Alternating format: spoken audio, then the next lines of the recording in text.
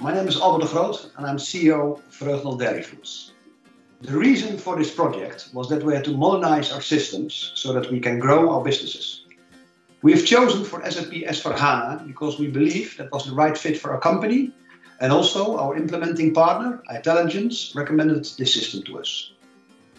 The expected results are that we as a company will become more efficient and that we provide a better service to all our customers worldwide. The goal for the future is within our vision. We bring you the best of milk.